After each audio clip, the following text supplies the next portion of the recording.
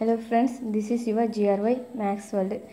Education Test 2 first one பாருங்கள் தமிழ்நாட்டில் சைனிக் பள்ளி அமைந்துள்ள இடம் கோயமுத்தூர் செகண்ட் ஒன் ஆயிரத்தி தொள்ளாயிரத்தி நாற்பத்தி நான்காம் ஆண்டில் சார்ஜெண்ட் அறிக்கை டேஷ் நிறுவதை வலியுறுத்தியது அப்படின்னு பார்த்தீங்கன்னா முன் ஆரம்ப பள்ளிகள் ஆப்ஷன் ஏ ஆன்சர் அடுத்து பாருங்கள் தஞ்சாவூர் பல்கலைக்கழகம் பிரத்யேகமாக டேஷ் பாடங்களை கற்பிக்கிறது. ஆப்ஷன் பி தமிழ் இலக்கியம். டாசிசாஸ்கோப் டேசி அளவிட பயன்படுத்தப்படுகிறது. ஆப்ஷன் ஏ கவனித்தலின் நேரம்.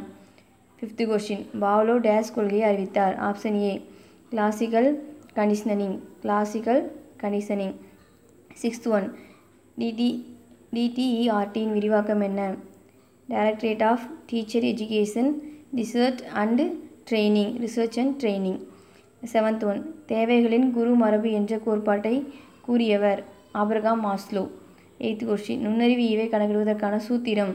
IQ equal MA by CA into hundred ninth one Frederick J McDonald நிறுவிய பள்ளி நடமாடும் பள்ளி. மெக்டொனால்டு நிறுவிய பள்ளி நடமாடும் பள்ளி. அடுத்து பாருங்கள் டென்த் மிதக்கும் பல்கலைக்கழகம் சென்னை துறைமுகத்திற்கு வந்து சே வந்த ஆண்டு. ஆயிரத்தி தொள்ளாயிரத்தி எழுபத்தி எட்டு. ஆயிரத்தி தொள்ளாயிரத்தி எழுபத்தி எட்டு. புதிய கல்விக் கொள்கை ஆயிரத்தி எட்நூற்றி ஆயிரத்தி தொள்ளாயிரத்தி எண்பத்தி ஆறில் அமலில் கொண்டு வந்தவர் ராஜீவ்காந்தி இந்தியாவின் தலைவிதி அவளின் அவரின் பள்ளி அறையில் உருவாக்கப்படுகிறது என்று ஆரம்ப அறிக்கை காண்பிப்பது கோத்தாரி கல்விக்குழு. தேர்ட்டீன்த்து பாருங்கள் நவோதயா பள்ளிகள் நிர்வா நிர்வாகம் செய்வது மத்திய அரசு.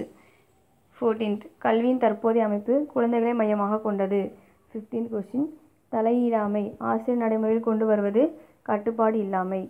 சிக்ஸ்டீன்த் ஆளுமை என்னும் சொல் பெர்சோனா என்பது நடிகரால் அணியப்பட்ட முகமூடி.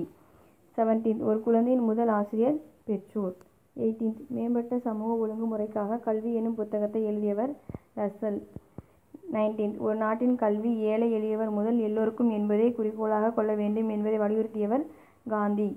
மேல்நிலைப் பள்ளியில் பலவிதமான பாடத்திட்டம் நடைமுறைப்படுத்தப்பட்ட ஆண்டு ஆயிரத்தி தொள்ளாயிரத்தி எழுபத்தி எட்டு. இந்த ஆயிரத்தி தொள்ளாயிரத்தி எழுபத்தெட்டு எழுதி படிச்சிருந்தோம் இதுக்கும் பல்கலைக்கழகம் சென்னை சமயத்துக்கு வந்த ஆண்டு ஆயிரத்தி தொள்ளாயிரத்தி எழுபத்தி எட்டு.